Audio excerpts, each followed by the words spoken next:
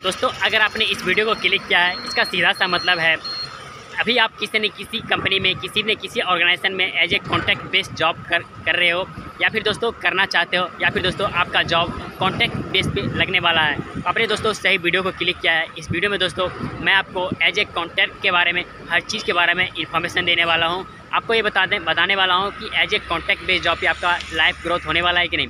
और contact based job करने के बाद आपको एक्सपीरियंस सर्टिफिकेट दिया जा दिया जाएगा कि नहीं।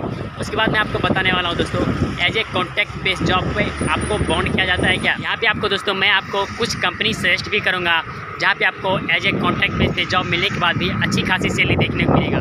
मैं हर चीज़ के बारे में दोस्तों, मैं आपको फुल डिटेल्स देने वाला हूँ। वीडियो को काफ़ी देखना चैनल पर पहली बार विज़िट कर रहे हो चैनल को सब्सक्राइब कर लो दोस्तों। तो चलिए पहले वीडियो को स्टार्ट करते हैं और सब कुछ का इन्फॉर्मेशन दूँगा दोस्तों। बेसिक से और अपर लेवल तक जाने की कोशिश करूँगा। सबसे पहले ये बात कर लेते हैं दोस्तों, आपका यहाँ पे लाइफ ग्रोथ देखने को मिलता है कि नहीं दोस्तों? एज ए दोस्तों, आपका टेंथ है ट्वेल्थ है, या फिर मतलब नॉन टेक्निकल से हुआ है बी वगैरह से हुआ है तो दोस्तों ये कोई फ़र्क नहीं पड़ता है। आप कॉन्ट्रैक्ट बेस से हो या फिर ऑन मतलब कंपनी बेस पे हो। आपको दोस्तों हर तरीके से एज ए लाइन पे या फिर दोस्तों एज ए हेल्पर के तौर पे आपको जॉब देखने को मिलता है। मैं दोस्तों टेंथ और ट्वेल्थ तक की बात कर रहा हूँ, इससे ज़्यादा अपर लेवल की बात नहीं कर रहा हूँ। बीए वगैरह को कहीं ना कहीं दोस्तों आपको एज ए अच्छे जगह देखने को मिल जाता है ऑफ़िस बॉय के रूप में। लेकिन दोस्तों टेंथ ट्वेल्थ या फिर दोस्तों उससे कम पढ़े लिखे लोगों को एज ए हेल्पर के तौर पर देखा जाता है, सीधी सी बात है, चाहे कॉन्टैक्ट बेस हो या फिर ऑन डोल हो। और दोस्तों अगर बात करते हैं आईटीआई डिप्लोमा या फिर बी वालों के लिए, और दोस्तों इसमें क्या होता है कोई भी कंपनी हो गया, चाहे पूना का हो गया या फिर कहीं किसी भी हो, कहीं का हो गया, चाहे बेंगलोर का, अहमदाबाद, कहीं का भी हो दोस्तों, ये सोच के चलते हैं कि आप पुणे आना चाहते हो, पुणे में हो।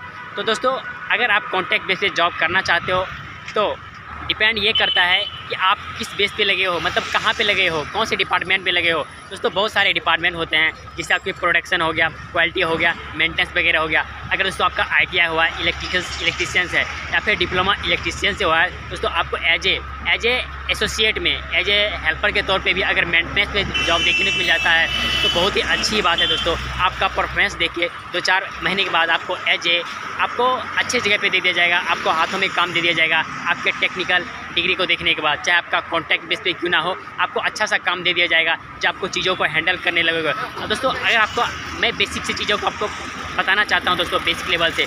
मान लो आपका आई इलेक्ट्रीशियन या फिर डिप्लोमा इलेक्ट्रिकल भी इलेक्ट्रिकल हुआ है, आपको कहीं जॉब नहीं लगा है और आपको कॉन्टैक्ट बेस आपका लास्ट उपाय है तो आप लग जाओ दोस्तों।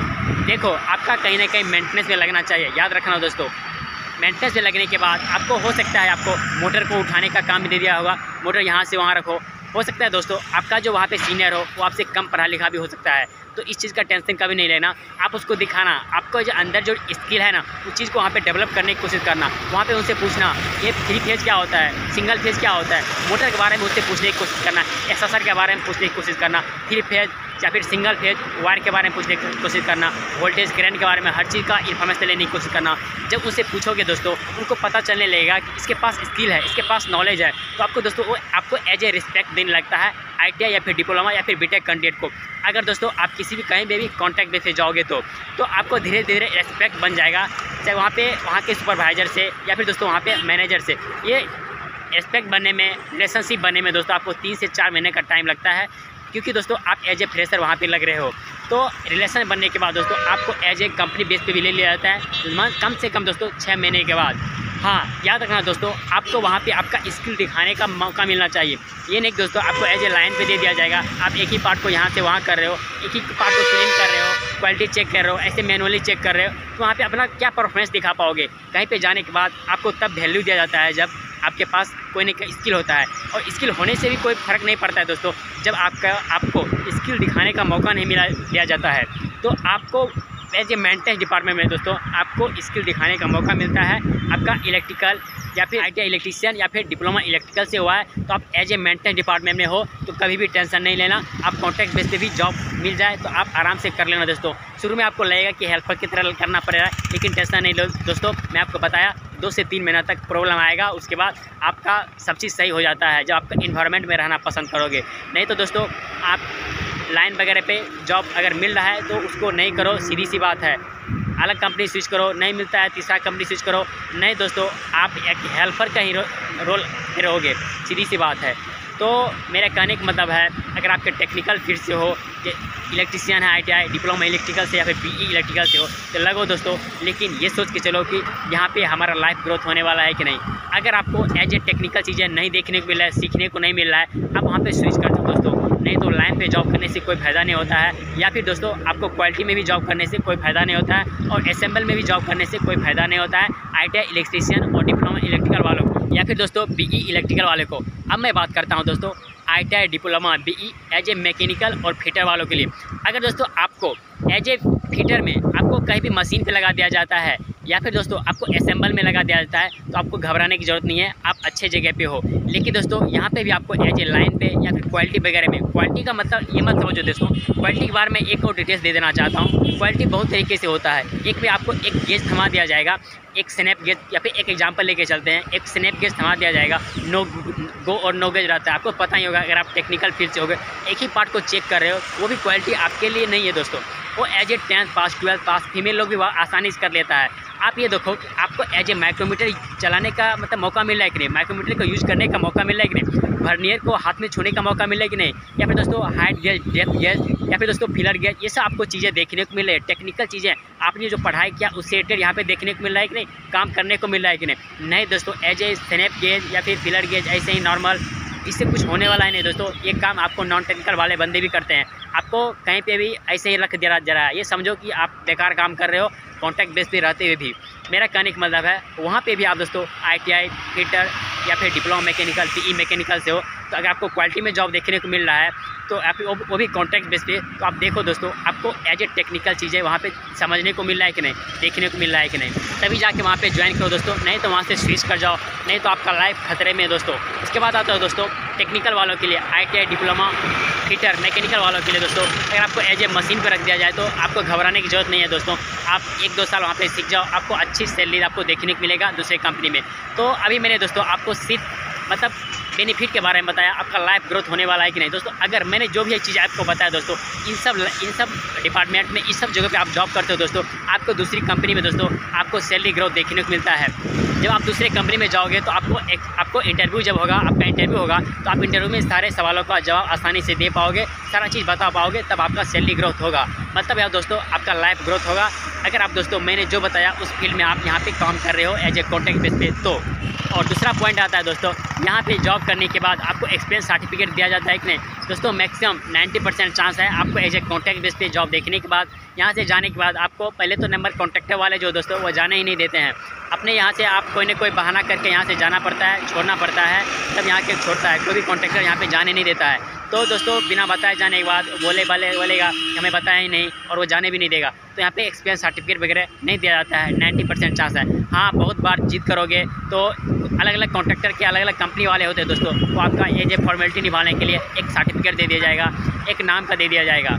तो एक ये मान के चलो दोस्तों, आपको एज ए कॉन्टैक्ट बेस पे कोई भी सर्टिफिकेट देखने को नहीं मिलता है, आपको थोड़ा सा प्रॉब्लम का सामना करना पड़ेगा, जब दूसरे कंपनी स्विच करोगे, अपना स्किल दिखाना पड़ेगा, आपको वहाँ पे रिलेशन बनाना पड़ेगा रेफरेंस बनाना पड़ेगा दूसरे कंपनी में जॉब पाने के लिए, कम से कम इंटरव्यू में बैठने के लिए। अगर इंटरव्यू में बैठ गए तो बल्ले बल्ले आपके पास सारा एक्सपीरियंस है ही। लेकिन दोस्तों, आपके पास एक्सपीरियंस सर्टिफिकेट नहीं रहेगा। इसके लिए दोस्तों, आपका थोड़ा सा प्रॉब्लम का सामना करना पड़ेगा, जब आप जॉब सर्च छोड़ने के बाद दूसरे कंपनी में जॉब सर्च करने जाओगे। हाँ यदि नैप्स वाले नैप्स वाले आप ट्रेनिंग नैप्स का जो ट्रेनिंग होता है, वो भी एक तरह से कॉन्टैक्ट नहीं होता है। अगर उसमें दोस्तों आपका ज्वाइनिंग वगैरह होता है, वहाँ से एक्सपीरियंस लेते हो तो आपको सर्टिफिकेट देता है नेप्स वाले देते हैं। लेकिन एज ए कॉन्टैक्ट नॉर्मल जो कॉन्टैक्ट होते हैं, आप लोग देखते होंगे कंपनी में, वो आपको किसी भी तरह का सर्टिफिकेट नहीं देता है।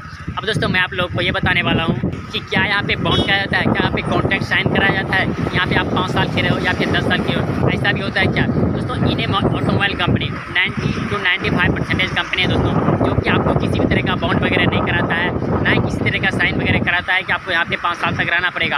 आपकी मर्ज़ी होता है दोस्तों जब तक आप काम करो करो नहीं तो बोल दो हमें कोई ना कोई प्रॉब्लम है आपको किसी भी कंपनी में स्विच करना है या फिर काम नहीं करना है आप बता दो हम यहाँ पर जॉब नहीं करना है। आपको किसी भी तरह का प्रॉब्लम नहीं होगा आप आराम से छोड़ सकते हो। हाँ कुछ एक दो केसेस देखने को हमें मिला है जहाँ पर दोस्तों आ, दो साल का बॉन्ड करा लिया जाता है और यहाँ पे सैलरी दोस्तों आपको सेम ही रखा जाता है।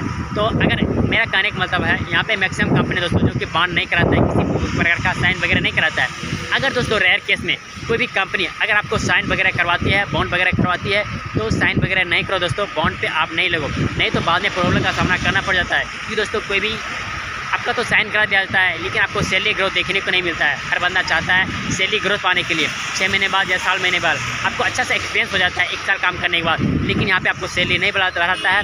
आपका जो साइन किए होंगे, दो साल का, पाँच साल का, तब तक यहाँ पे काम करना पड़ता है। एक बार साइन होने के बाद दोस्तों, उसके पास बहुत सारा कागज़ी हो जाता है उसके पास। वो आपके पास मतलब केस वगैरह कर सकता है, आप उसमें फंस जाओगे। तो प्लीज़ अगर आप कोई बॉन्ड वगैरह कराता है तो सैलरी भले हज़ार रुपया कम दे दो उससे बोलो, लेकिन साइन वगैरह बॉन्ड वगैरह, इस बेस पे हम नहीं लगने वाले हैं। और दोस्तों, अब मैं बात करता हूँ कि as a contract based job करते टाइम साल भर या छः महीने के बाद आपका सैलरी में ग्रोथ होता है कि नहीं, सैलरी बढ़ता है कि नहीं? दोस्तों, आपका सैलरी बढ़ती है, लेकिन बहुत ही कम बढ़ती है।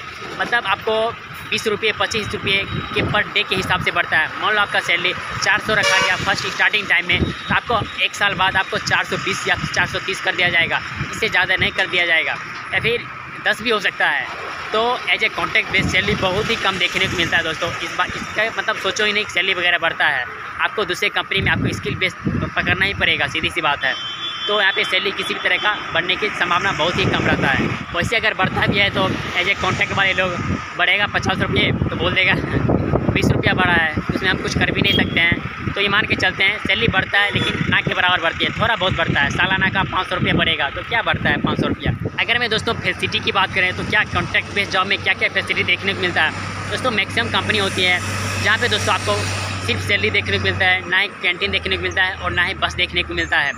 सिर्फ़ आपको ई एस आई कटेगा पी एफ़ कटेगा। कुछ कंपनी होती है दोस्तों ये भी नहीं करती है। तो कम से कम उस कंपनी में ज्वाइन करो दोस्तों जहाँ पे आपका कम से कम सैलरी के साथ साथ आई और पी एफ़ करता हो। क्योंकि दोस्तों इसके साथ साथ आपके पास एक प्रूफ भी हो जाता है कि आप यहाँ पे इस कंपनी में जॉब कर रहे हो। बहुत सारे ऐसे कंपनी दोस्तों जो कॉन्टैक्ट वाले बंदे को भी कैंटीन भी देती है और बस भी देती है। कुछ कंपनी ऐसी है दोस्तों होते हैं दोस्तों एम कंपनी जो दोस्तों बस और कैंटीन दोनों फैसिलिटी देती है। बहुत अच्छी बात होती है दोस्तों उस कंपनी का हमेशा मैं सैल्यूट करता हूँ। दो, दो मतलब एक मतलब एम्प्लॉय की तरह देखा जाता है। मतलब देखा देखी नहीं करता है। मैं उस कंपनी को बहुत धन्यवाद देता हूँ क्योंकि दोस्तों बस और कैंटीन दोनों फैसिलिटी देती है, हर लोगों के लिए फैसिलिटी देती है। अब दोस्तों लास्ट में मैं आपको कुछ कंपनी के नाम बता देना चाहता हूँ, जहाँ पे दोस्तों आपको फैसिलिटी भी देखने को मिलती है एज ए कॉन्टैक्ट बेस से सैलरी भी ठीक ठाक देखने को मिलती है। दोस्तों आपको मैं कंपनी का सेशन देता हूँ। आप दोस्तों रंजन गाँव चले जाओ। आपका इलेक्ट्रिकल या फिर इलेक्ट्रॉनिक्स फ़ील्ड से हो, या फिर मैकेनिकल या फिर फिटर से हो, आप रंजनगांव चले जाओ, पुणे में अच्छी जगह है दोस्तों, जहाँ पे दोस्तों कुछ कंपनियाँ हैं। मैं दो चार कंपनी का नाम आपको चुना, गिन देता हूँ, गिनती कर देता हूँ, आप वहाँ पे गेट पे चले जाओ, आपका ज्वाइनिंग होने की संभावना रहती है। आपका बिकाट हो गया, करारो हो गया, या फिर दोस्तों आपका एयर हो गया जाबिल हो गया, ये सब कंपनी में दोस्तों बस, कैंटीन, हर चीज़ का आपको फैसिलिटी देखने को मिलता है। सैलरी सैलरी दोस्तों चौदह से पंद्रह हज़ार देखने को मिलती है, एज ए फ्रेशर को। वही दोस्तों टेंथ ट्वेल्थ आई हर कंपनी में टेंथ ट्वेल्थ वालों के लिए नहीं रहता है लेकिन हेयर हो गया जाबिल हो गया दोनों में टेंथ ट्वेल्थ वालों के लिए भी रहता है टेक, मतलब नॉन टेक्निकल और टेक्निकल वालों के लिए भी रहता है। तो ये हेयर और जाबिल हो गया चौदह पंद्रह हज़ार सैलरी देखने को मिलता है बस कैंटीन हर चीज़ फैसिलिटी देखने को मिलती है आप रंजन गाँव में कहीं भी रूम लेके रह सकते हो। इसके बाद आता है दोस्तों बिकाट हो गया करारा हो गया विल्स इंडिया हो गया। विल्स इंडिया में बस देखने को नहीं मिलता है लेकिन करारो और बिकाट में सब कुछ देखने को मिलता है। सैलरी भी पंद्रह से सत्तर हज़ार को एज ए फ्रेशर देखने को मिलेगा आईटीआई वालों को डिप्लोमा वाले को मैकेनिकल फिर से हो। इलेक्ट्रिकल वाले दोस्तों बिकाट या करारों में या फिर विल्स इंडिया में नहीं जाना लेकिन दोस्तों इलेक्ट्रिकल इलेक्ट्रॉनिक्स वाले आप जाबिल और हेयर कंपनी में ज़रूर ज्वाइन कर लो। जाबिल में कर ही लो दोस्तों खास करके फीमेल कैंडिडेट के लिए मैं एक आ, मतलब मेरा सजेशन है कि आप जाबिल ज्वाइन कर लो, चाहे आपका कोई भी क्वालिफिकेशन हो, क्योंकि वहाँ फैसिलिटी भी देती है सैलरी भी अच्छी देती है। तो आज दोस्तों बहुत सारे लोगों का कमेंट वगैरह आ रहा था, बहुत सारे रेयर केस भी देखने को मिलता है कॉन्टैक्ट बेस से बहुत सारे लोग साथ गलत भी हो जाता है। मैं इंस्टा स्टोरी में भी लगाया था, एक बंदे के साथ गलत हो गया था, उसे बोला गया इतना सैलरी और उसे उतना दिया नहीं गया, और बाद में उससे पैसे भी ठग लिया गया, और बाद में मांगने पर उसे मतलब धमकाया भी गया। तो मैं एज ए कॉन्टैक्ट बेस से मैं चाह आप लोगों को साथ कुछ शेयर कर दूँ, चीज़ें हैं तो जो भी इन्फॉर्मेशन था दोस्तों, मैं आप लोगों को देने की कोशिश किया। तो कहीं ना कहीं वीडियो आप लोगों के लिए बहुत ही इन्फॉर्मेटिव होगा। वीडियो अच्छा लगे तो वीडियो को लाइक कीजिए दोस्तों। अच्छा से कमेंट कीजिए ताकि मैं मोटिवेट हो सकूँ और एक से एक इन्फॉर्मेटिव वीडियो आपको लेके लाने के लिए। बात दोस्तों, फिर मिलते किसी और इन्फॉर्मेटिव वीडियो में। तब तक के लिए बेस्ट ऑफ़ लक